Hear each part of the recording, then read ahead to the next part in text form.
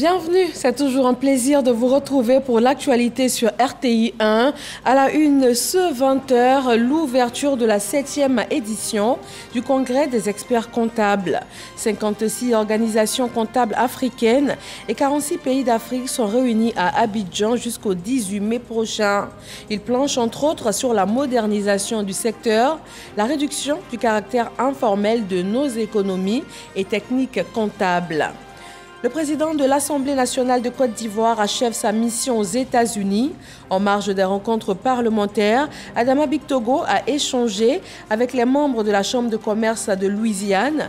Il leur a présenté les opportunités d'investissement en Côte d'Ivoire. Aujourd'hui, 15 mai, journée internationale de la méthode kangourou.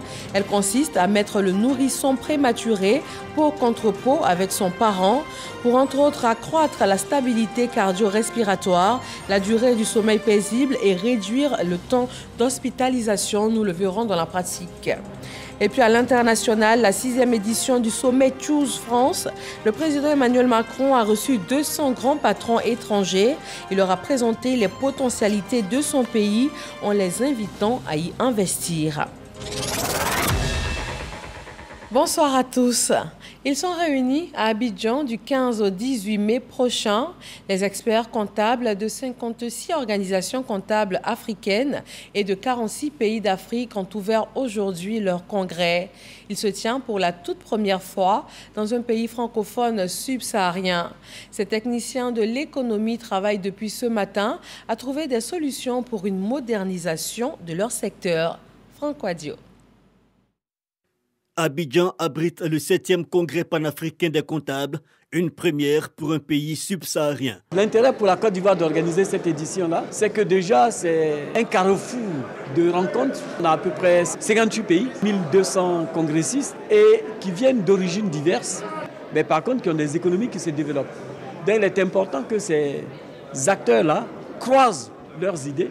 Des opportunités ouvertes donc pour pays organisateurs et visiteurs ce congrès est à propos pour affiner les points de vue. On estime à 50% de la production économique et 85% de l'emploi en Afrique les apports du secteur informel dans la sphère économique africaine. C'est pourquoi ce secteur sera au cœur de nos échanges.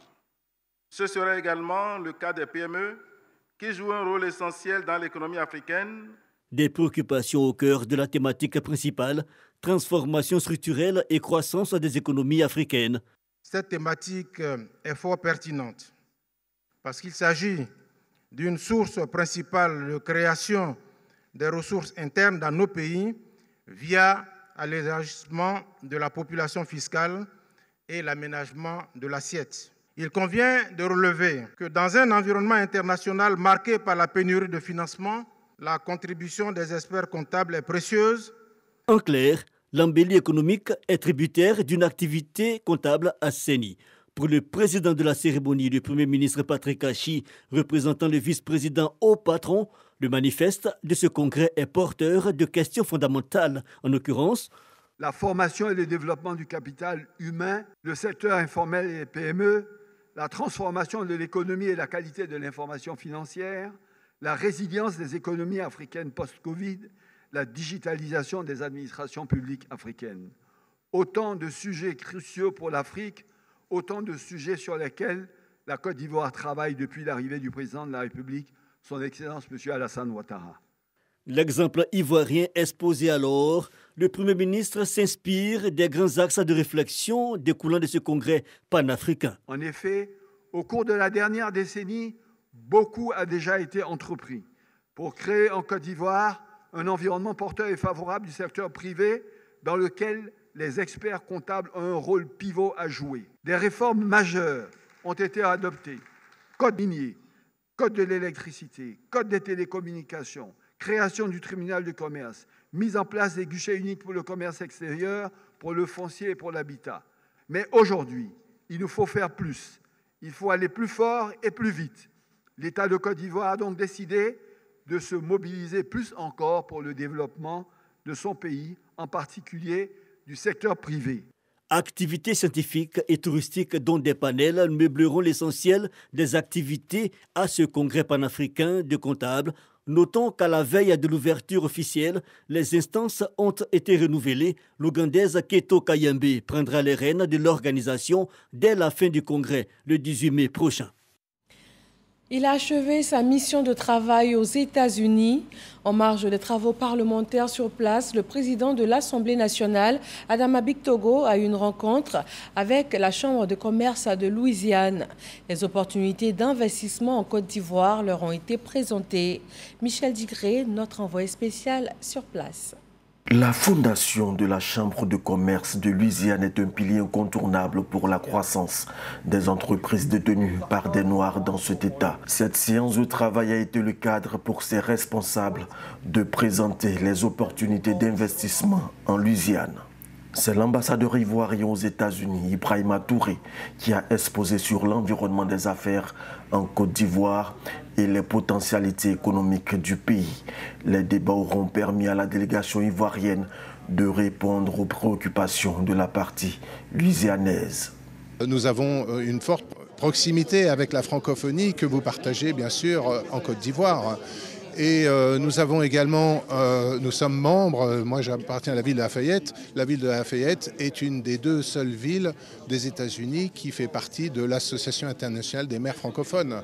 Donc pour toutes ces raisons-là, nous avons beaucoup à partager avec vous et nous sommes prêts à, développer des collaborations dans ce domaine-là. L'État de Louisiane a une oreille attentive aux différentes présentations faites. En tant que ressortissants américains, nous nous devons d'investir en Côte d'Ivoire parce qu'on a de bonnes opportunités d'affaires là-bas. Nous avons hâte de faire partie des opérateurs économiques en Côte d'Ivoire. Le président de l'Assemblée nationale, Adam Togo, a tenu à rassurer ses interlocuteurs sur les dispositions qui seront prises pour faciliter leur arrivée en Côte d'Ivoire. Il faut que vous veniez en Côte d'Ivoire. Il faut que euh, la perception qui est faite à partir de la présentation épouse la réalité que vous allez constater vous-même. Une fois que vous constatez la réalité, naturellement qu'avant de venir, l'ambassadeur, qui est donc votre point d'ancrage ici, prendra contact avec ceux qui sont en charge de ces secteurs, de telle sorte qu'avant d'arriver, vous puissiez bénéficier d'audience auprès de ces personnes. Le gouverneur de Louisiane s'est félicité des travaux avec la délégation ivoirienne, des séances de travail qui ont permis d'établir des ponts pour booster les relations économiques entre les deux États. La mission aux États-Unis de la délégation ivoirienne s'est achevée par une séance de travail avec le directeur régional des programmes d'Afrique occidentale au National Democratic Institute. Nous avons été très honorés euh, de cette opportunité qui nous a été offerte par Son Excellence euh, le Président de l'Assemblée nationale de Côte d'Ivoire pour échanger euh, sur la situation politique et les préparatifs qui sont en cours pour que euh, d'ici le mois de septembre, la Côte d'Ivoire puisse organiser des élections locales et régionales euh, dans des meilleures conditions possibles. Nous avons été vraiment très éclairés sur son exposé et, on se réjouit aussi du fait que ces élections seront organisées de manière inclusive et que si le calendrier est bien respecté, y compris les sénatoriales d'ici la fin de l'année, euh, on se retrouvera avec euh, une Côte d'Ivoire vraiment réunifiée où tous les acteurs politiques vont se retrouver dans les institutions. Pendant ce temps, le travail se poursuit à l'Assemblée nationale de Côte d'Ivoire. Le projet de loi d'orientation relatif à la jeunesse a été adopté par la Commission des affaires sociales et culturelles. Le texte vient ainsi renforcer la politique d'encadrement des activités de la jeunesse en Côte d'Ivoire. Moussa Konaté. Le projet de loi d'orientation relatif à la jeunesse vise à institutionnaliser la participation des jeunes au débat politique à améliorer la présence des jeunes aux prises de décision et aux affaires publiques. Le texte prévoit également la création du statut d'encadreur de jeunes. Des jeunes entre 16 et 35 ans. La quasi-totalité de nos villages désignent des personnes comme président de jeunes en violation flagrante de cette loi. Pour régler donc euh, cette contradiction entre ce que la loi dit et ce qui se passe en réalité dans toutes nos régions, c'est de donner un statut à ces personnes qui ont plus de 35 ans, mais qui n'en demeurent pas moins important dans nos sociétés, puisque ces personnes ont une influence certaine sur les questions de jeunesse.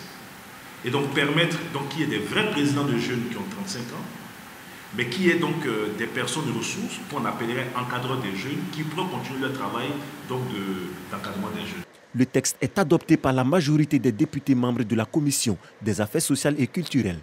Répondant aux préoccupations des élus, le ministre Mamadou Touré apporte des précisions sur la question des 361 milliards de francs CFA destinés aux jeunes.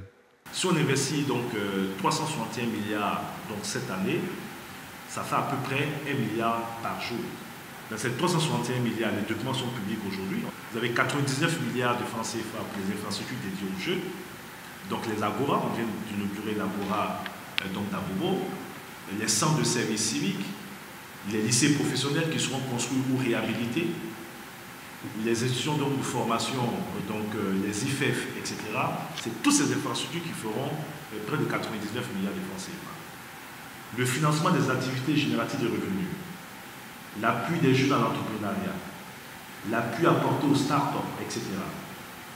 La formation qualifiante pour les jeunes, formation par apprentissage, les formations de reconversion, en plus donc euh, des initiatives d'insertion directe des jeunes, tout ça fera à peu près 260 milliards de francs CFA. Selon le dernier recensement général de la population et de l'habitat, les jeunes représentent 75,6% de la population ivoirienne. Dans la continuité de cette politique gouvernementale d'insertion professionnelle de la jeunesse, un garage-école est en construction dans la commune d'Abobo. L'Institut dédié à la formation des jeunes s'inscrit dans le cadre de l'école de la deuxième chance, dédiée aux personnes diplômées ou sans qualification. Frédéric Oulaï et Didier Nguesson. Abobo enregistre une infrastructure pour la prise en charge des jeunes. Ce bâtiment en construction est le garage école dédié à la formation dans les métiers de mécanique et peintre auto et bien d'autres disciplines connexes. Les ministres Kandia Kamara et Kofi Nguesson, en visite sur le chantier, s'imprègnent de l'état d'avancement des travaux. Ce sont des jeunes d'Abobo qui vont être euh, formés de façon qualitative. Donc, tous ceux qui vont passer par ici seront parmi les meilleurs peintres euh, de voitures, les meilleurs mécaniciens euh, pour réparer toutes les voitures, depuis les plus récentes jusqu'aux anciennes aussi. La réalisation de cette infrastructure traduit la politique de l'école de la deuxième chance, mise en œuvre par le ministère de l'enseignement technique, de la formation professionnelle et de l'apprentissage. Il s'agit de favoriser l'insertion des jeunes sans qualification. Le garage école est un volet de notre programme École la deuxième chance. Permettre à des jeunes sortis trop tôt des écoles ou des jeunes euh, déscolarisés ou des jeunes qui ont des diplômes sans emploi de pouvoir venir ici dans ce centre pour apprendre toutes les techniques liées au véhicule, que ce soit la mécanique, l'électronique, que ce soit même les pneumatiques, que ce soit l'équilibrage, ici la peinture auto. Notre programme aussi permettra à des maîtres mécaniciens de venir ici renforcer leurs capacités et avoir des diplômes hein, officiels homologués pour que ces maîtres mécaniciens nantis de ces nouvelles compétences puissent s'installer à leur propre compte et recruter des jeunes mécaniciens qui seront aussi sortis d'ici. Bâti sur une superficie d'un hectare, le taux d'exécution des travaux est estimé à 80%. Dans l'enseignement technique, les épreuves d'éducation physique et sportive ont été ouvertes ce matin. Plus de 28 200 candidats sont repartis dans 66 centres de composition. Serge Pacom Didi et Franck Wadio. 8 heures, lycée professionnel industriel de Marcory. Démarrage de la session 2023 des épreuves d'éducation physique et sportive, de l'enseignement technique, de la formation professionnelle et de l'apprentissage. Ils sont 25 457 candidats au niveau national repartis en fonction de leur niveau d'études dans différents domaines. Certificat d'aptitude professionnelle CAP, brevet d'études professionnelles BEP, BT, brevet de technicien entre autres, la course à des vitesses, le saut en longueur, le saut en hauteur, le lancer de poids, la gymnastique au sol sont les disciplines concernées. Nous avons commencé les épreuves tout à l'heure. On a fait euh, la course vitesse. Il reste les enchaînements et puis le saut en hauteur. Je suis en troisième année BT secrétariat. Ça se passe bien. Nous avons commencé par le saut en hauteur. C'est des exercices qu'ils ont fait durant toute l'année scolaire. C'est la chandelle, l'ATL, la roue. On leur demande d'être coordonnés afin de bien les reproduire pour les examens. Des émissaires du ministère de l'enseignement technique et de la formation professionnelle se sont rendus sur les lieux il s'agit de s'assurer du bon déroulement des épreuves. Dans notre ordre d'enseignement, les épreuves physiques sont nécessaires. C'est une formation au métier. Il est nécessaire que pour ces métiers-là, les jeunes soient dans de bonnes conditions physiques. C'est une preuve aussi euh, d'assurance qu'ils pourront exercer dans certains métiers. Nous leur demandons beaucoup de sérieux, beaucoup de concentration 66 centres de composition repartis sur l'ensemble du territoire national et organisés en six grands axes Abidjan, Bengrou, Boaké, Gagnoua, et. Ces épreuves prennent fin le mercredi 31 mai 2023. En santé, la société savante appelée Société de radiologie d'Afrique noire francophone tient en Côte d'Ivoire la 18e édition des journées de radiologie. Elle vise principalement à former les radiologues en imagerie oncologique afin de pouvoir établir des diagnostics précis. à Boussanogo. 18e édition des journées de radiologie d'Afrique noire francophone. Cette édition est organisée par la Société savante appelée Société de radiologie d'Afrique noire francophone. Son objectif est de former des radiologues en imagerie oncologique, l'imagerie des cancers. L'imagerie aura pour but de faire le diagnostic. Ça va être la capacité à mettre en évidence des lésions qui sont cancéreuses, à guider les biopsies, à faire la stadification, donc à évaluer la gravité des lésions, à surveiller le traitement à comparer les lésions les unes par rapport aux autres et à évaluer les récidives. Cette formation vient à point nommé pour aider les populations. Et il importe que les radiologues s'approprient les nouvelles technologies que sont le scanner et l'imagerie par résonance magnétique. Tous ces radiologues vont apprendre à s'améliorer au bénéfice des populations. La 18e édition de ces journées de radiologie est une réussite selon les participants. De plus en plus, euh, grâce à ça, on peut s'abstenir de chirurgie. On fait des biopsies, on s'aperçoit que les ondes sont bénignes, on va surveiller. Les traitements sont moins lourds. Euh, le radiologue peut, grâce à l'IRM et au scanner, poser un diagnostic beaucoup plus précis avant même d'avoir une biopsie.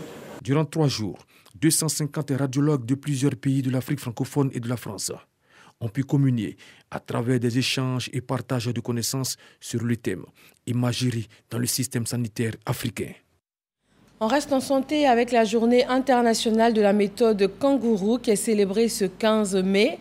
La cérémonie officielle a eu lieu à l'hôpital général de Yopougon. Dans nos prochaines éditions, vous pourrez avoir un gros plan sur cette méthode kangourou qui sauve des vies de bébés prématurés sans passer par la couveuse. Dans le secteur des mines et carrières, les entreprises minières et les travailleurs ont trouvé un terrain d'entente en vue de la revalorisation des traitements salariaux. Une convention collective sectorielle spécifique à l'activité a été signée. L'ancien Bakayoko. Cette convention collective sectorielle est un outil stratégique d'anticipation qui vient enrichir le dispositif existant en apportant des réponses structurelles et consensuelles aux importantes problématiques liées notamment aux traitements salariaux et à la gouvernance du secteur minier. Elle servira de base minimale et prescriptive pour toutes les mines actuelles et à venir dans le pays, mais a vocation à être révisée ensuite par les parties si elles le désirent. La Convention prévoit l'exigence du respect de la promotion et la valorisation des compétences locales en priorisant l'embauche des travailleurs nationaux et en leur favorisant l'accès à des postes de responsabilité.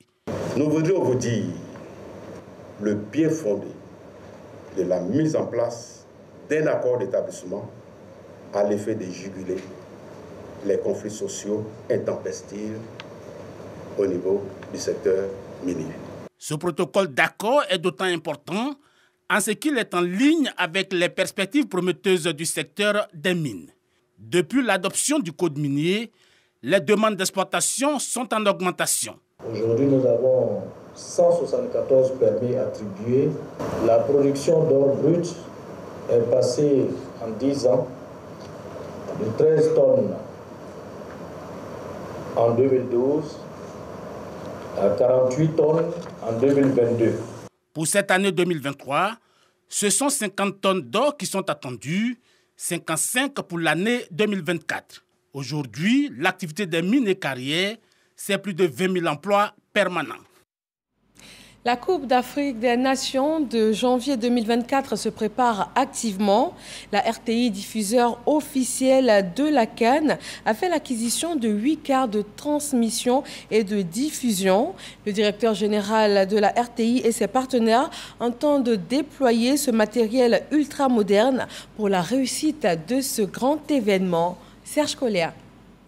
Producteur et diffuseur officiel de la Cannes Total Énergie 2023 en qualité de radiodiffusion télévision haute, la RTI se donne les moyens de réussir sa mission. Soucieux d'offrir aux téléspectateurs un service de qualité, le directeur général est en mission à Paris. Fosseni Dambélé et ses collaborateurs prépare l'acquisition d'un équipement à la pointe de la technologie audiovisuelle. Deux cars Obi-Vans dotés de 24 caméras HD, deux cars d'accompagnement, deux cars VAR, deux cars DSNG vont bientôt étoffer le patrimoine de la radiodiffusion télévision ivoirienne. Au total, huit vidéocars pour la retransmission en direct des matchs et la réalisation des reportages en temps réel avec efficacité et rapidité.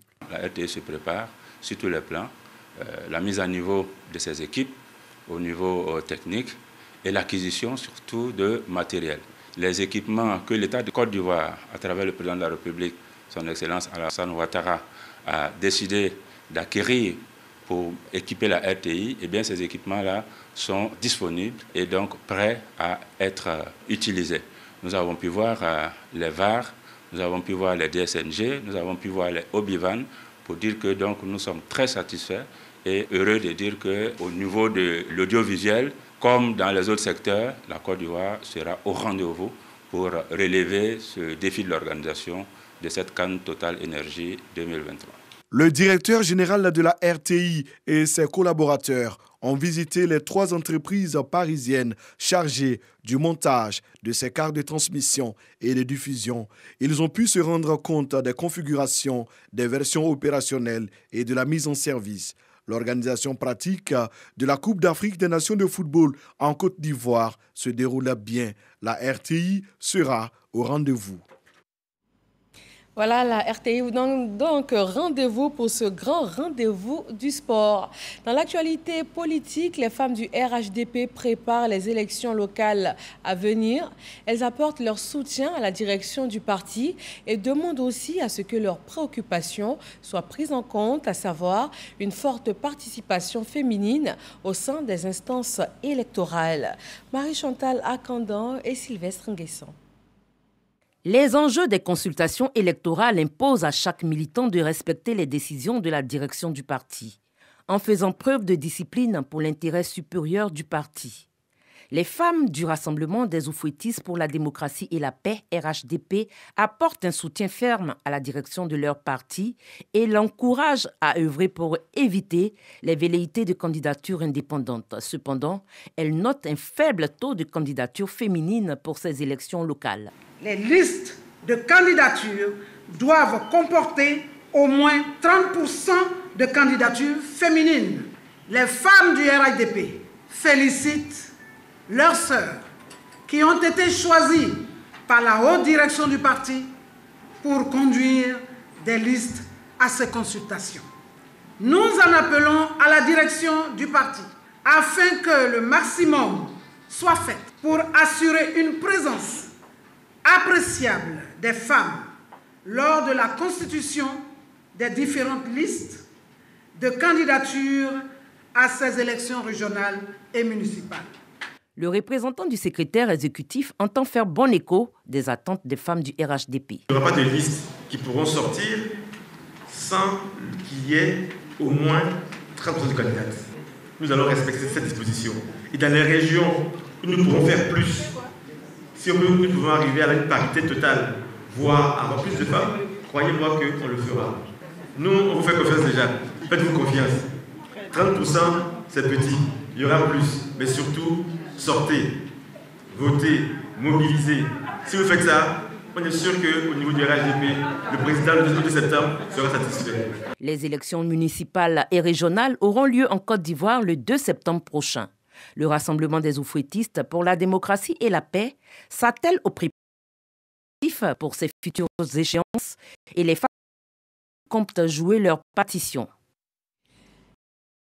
Coalition nationale pour le sursaut CONASU annonce une tournée nationale de sensibilisation pour préparer également cette période électorale. Direction la ville de Dabou avec nos reporters Angela Diallo et Moussa Konaté pour le lancement officiel de la tournée de sensibilisation. Élections municipales et régionales apaisées en Côte d'Ivoire. La Coalition nationale pour le sursaut sensibilise les populations au lancement de ses activités à Dabou, la CONASU appelle à une période électorale sans violence. Son initiative est soutenue par certains élus, leaders politiques et chefs coutumiers. C'est très important dès maintenant de faire des tournées partout pour venir euh, sensibiliser les populations, pour euh, les appeler au calme et euh, à enlever la passion dans, dans, toutes les actions, à permettre à tout le monde de participer librement à ces élections. Pour le président de la CONASU, cette initiative va se poursuivre jusqu'à la fin des élections locales et va s'étendre à plusieurs localités du pays.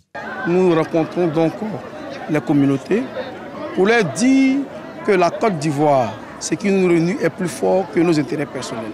Nous attirons donc l'attention des acteurs politiques en Côte d'Ivoire de savoir raison garder, de privilégier donc l'intérêt national de la Côte d'Ivoire. Créée en juillet 2022, la CONASU a pour mission de promouvoir les valeurs de paix, de cohésion et de solidarité des élections apaisées impliquent un climat de paix. Il en a également été question lors du tout premier conseil politique ordinaire du Congrès panafricain pour la justice et l'égalité des peuples, COGEP. Le président du COGEP, Charles Blé a annoncé que son parti ne présentera pas de candidat à ces deux scrutins, mais sensibilisera donc à un climat apaisé. Souleymane Donisongui et Marie-Laurent Gorin. 12 ans après, le COGEP tient son premier conseil politique ordinaire. Le président du Congrès panafricain pour la justice et l'égalité des peuples, Charles Blégoudé, s'engage pour la paix. Le COGEP ne présentera pas de candidat au municipal et régional prévu en Côte d'Ivoire le 2 septembre prochain. L'objectif premier du COGEP et sa priorité n'est pas une démarche électorale c'est une démarche de recherche de paix. Pour rassembler de nouveau les Ivoiriens. Telle est la mission que le Conseil politique vient de me confier. C'est pourquoi nous n'aurons pas de candidats, sous quelque forme que ce soit, aux élections municipales et régionales à venir. Pour illustrer ses propos, le COGEP de Charles Blégoudé va sillonner le pays pour porter le message de la réconciliation et de la cohésion nationale. Son parti met en route une caravane pour la paix. Ce premier conseil politique du COGEP a été également meublé par des travaux de réflexion sur la vie du parti. Enjeu affiché, élaborer des stratégies pour une meilleure implantation. Sur la scène culturelle, le Palais de la Culture d'Abidjan, Trècheville, a abrité le samedi 13 mai dernier le concert du couple d'artistes maliens Bigini et Tonton Pal. Voyons en image cette scène avec Serge Pacom Didi et Franck Wadio. C'est dans une salle à Noumabo archicomble que les artistes maliens Bigini et Tonton Pal communient avec le public ivoirien.